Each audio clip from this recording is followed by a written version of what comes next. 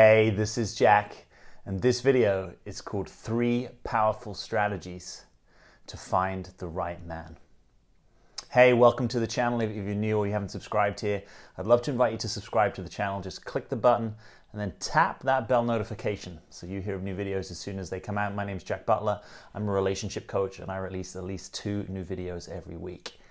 And if you haven't taken my free webinar, I want to invite you to do that. It's called The Three Keys to Being Relationship Ready How to Keep and Attract the Right Man. And you can just find it. It's the first link beneath this video. You can click that link and find a time that works for you in your time zone. And uh, it's been getting rave reviews. I think you'll be some of the best investment of 90 minutes of your time. Would love to have you there. So just click that link and find a time that works for you, and we'll see you on the webinar. All right, so let's get into it. So, what are these three powerful strategies to help you find the right man? So, the first powerful strategy is to be putting yourself in the right environments. Let's just make this really simple. Are you putting yourself in environments regularly, routinely, where you're having the experience of meeting men that you're at least interested in? Right? Maybe you're interested in the men that walk their dog in the dog park.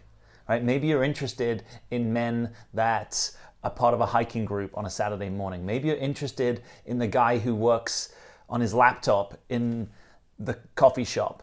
Maybe you're interested in the kind of guys that go to seminars on their weekends. Maybe you're interested in the kind of guys that go to bars or go to yoga or go to meditation or go to knitting, whatever it is. How regularly are you putting yourself in the environment where the kind of guys that you're rubbing shoulders with, that you're smiling with, that you're saying hello to are occasionally the kind of guys that you want to deepen a connection with?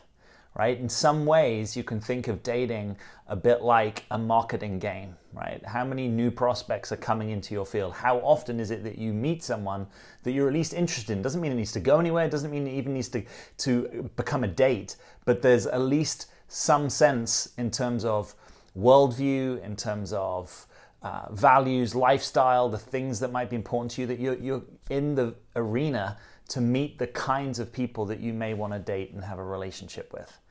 Said differently, if you're never doing that, it's really hard for you to be successful in your dating, right? If you're mostly staying at home or if you're mostly on online websites and it's just not really working for you, how can you physically and regularly put yourself in an environment where you might meet new types of men that are of interest to you. And if you don't know what that environment is, give yourself permission to learn and permission to fail.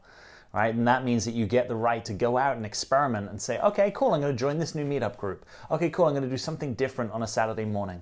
Okay, I have been walking my dog, but I've, I've never walked my dog in a social way. I am going to start walking my dog at the dog park and I'm going to make a point of saying hello to people, right? Or maybe you do the school run and actually you could go five minutes earlier and hang outside school and start talking to people whatever it is that allows you just to increase the amount of contact and likelihood that you're meeting the right places. Like I grew up playing a lot of football, soccer, and I remember there was this guy called Ian Rush who was one of the best footballers of like the 80s and maybe early 90s, and you know, people would ask him what his secret is. You know, how come you're always in the right place at the right time?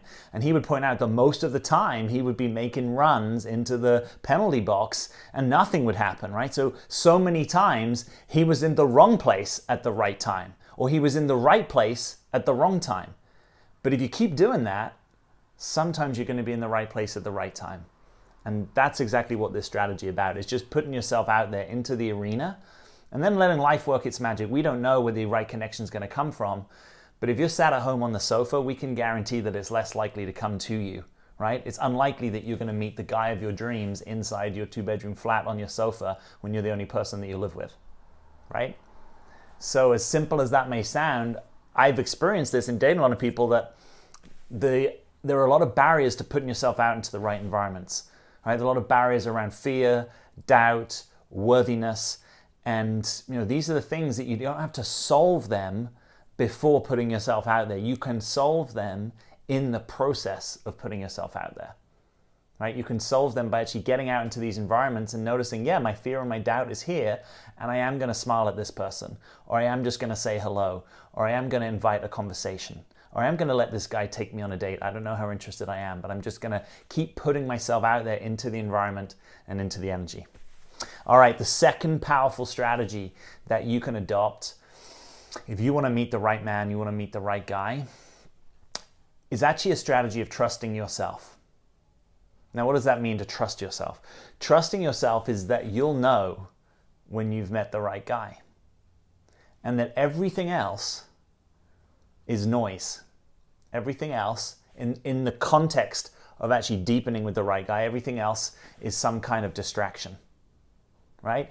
Now, why is this important? Is, be- is because it allows you to focus your time, energy, and effort, which are your most precious resources, into something that actually matters and has a potential to go somewhere. So often, what I experience as a coach is women investing a lot of time in things that they know in their hearts of hearts, if they really trusted themselves and dialed in their intuition and listened deeply to themselves, they kind of know this guy, it's not going anywhere, right? They know that the guy that's been breadcrumbing them, they need to cut things off with. Right? They know that the guy that they've been dating for three years and he's in no way deepening the connection or commitment is probably not the guy for them. And yet maybe they're in love, maybe you know you, we want something that's not there, and so you're hoping. And all of these are superhuman. None of none of this is me making that wrong. It's just saying, wow, you're a precious person, and to be in relationship with you over the long term is a precious opportunity for the right man. So we want to preserve that opportunity and we want to clear your field of everything that isn't that, right? You sometimes have probably heard people talk about life as a vibration. And it's not really a language I use that much, but in this instance, I think it can be quite powerful that if you want to vibrate with someone, if you want to invite the thing that you really want, you have to take the quote lower vibration stuff away from your life. You don't need to do it meanly. You can be kind and compassionate, and you learn how to hold your boundary and say, hey, it's been great connecting with you, and there's something that I'm really looking for, and I'm really going to save myself for the right connection. Now, doesn't mean that you can't go on dates, doesn't mean that you can't keep some kind of, um, you know, if you're starved of connection or you're starved of physical touch, there's many ways that you can go and meet those needs, even while in your heart you're preserving that space for the right man to walk into your life and to want to stake out that territory and be in that territory with you right? So trusting yourself is you'll know if a guy is worth waiting for. You'll know if a guy is worth continuing a connection with. You'll know when actually the way you're being treated or the way that he's showing up or the way that he's not offering commitment is, isn't what you want. And if you're in love with someone, it's difficult to hold that boundary. But it's so much better to be in the reality of something that can go somewhere than the false hope of one day this will change, one day it'll be different, one day he'll invest, one day he'll initiate. And if that's not really available, that's that's just false hope. Do you know what's better than false hope? Is is what we call, you know, in, in the literature they call it holy hope, which is kind of like a grand idea, but it's actually the being present enough in your life to notice that things do get better over time. To be present enough to notice that things do get better, that life conspires in your in your favor is one way to think of that and that that's so much better than the false hope of uh, you know expectation disappointment expectation disappointment. Or the only way that i can be in my life is to ongoingly have a hope that one day this guy will show up in a way that he never has. That is so detrimental to your sense of trusting yourself and life because there's a huge cognitive dissonance there right? There's a dissonance there's a disconnect between one day something having to change with this guy and you trusting yourself and the things that you know to actually be true. So, powerful strategy number two is, is trust yourself. Maybe you've been with a guy for six months and you don't know. Okay, that's, that's cool. That's called I don't yet know. Right? It's not called I don't know, I don't know, I don't know. That's called doubt. I don't yet know is I'm open to receiving my knowing. Life, show me whether you want me to have a knowing about this guy. And if you don't, and we've been together for long enough and I still don't know, I might just say that not knowing is then its own answer. But until that point, I'm going to remain in curiosity. I don't yet know. If you could do one thing in your life and just take all the times that you say, I don't know, I know this as a coach. So many times people are saying, I don't know. They don't even realize they're saying it. Yeah, I don't know. I, I, don't, I mean, I've seen this guy. I don't know. I, I don't know what if, I don't really know what I feel about him. If you could just nix that, cut that, from your vocabulary and just replace it with I don't yet know. Because it also forces you to get closer to the truth, right? Doubt that you spin in isn't usually the truth. The truth might be I don't yet know and I want to know. I want to have a knowing about the right guy. Life, could you support me to have a knowing about the right guy? Life, could you support me to have the courage to take myself out of any connection that isn't actually the right guy for me to be in connection with? And could you support me in my times of loneliness and in my times of doubt and my times of anxiety that actually the right guy will come in my life? Do you start to see how there's such an inner game to, to dating and relationships? Because that way that you hold the things that are coming into your life, the way that you can trust or not trust the things that come into your life, the more you cultivate that trust, the more you're going to have the experience that you and life are aligned, that life is on your side, that life is working for you and that the, the you know you've probably heard this expression god's delays are not god's denials. And whether you believe in god or not or whatever your spiritual experience is it means that having patience that the right thing can come into your life at the right time is important. We don't know if that's next week next month or next year or next decade. And it can be really difficult if you're longing and life isn't meeting you yet but it's so much better to preserve that energy for the right thing than try and take the wrong thing, the wrong guy, and make them into something that they're never actually going to be. That's called false hope. And let's have you dealing in real hope, which is actually much more about surrender and letting life work its magic over a period of time. And by the way, if relationship is your area of struggle, I feel for you and I can relate to that. It's here to teach you, right? For some people, relationship isn't their area of struggle, right? Maybe they settle down in their 20s and they're still with that person in, in later life. That's awesome. You know, hats off to that. That's awesome. And it might not be your path. Your path might be relationship is going to teach me some things. Through the pain and wounding and longing of relationship, I'm going to learn how to come more into my own power and wholeness. What an opportunity that is, right? So, anytime you're struggling with this, you're like, well, I've been so patient, I've been so patient. A couple of questions for you. One is, yeah, you don't get to decide the timelines of your patience. What if you could just relax and trust that life will sort out things in its own timeline?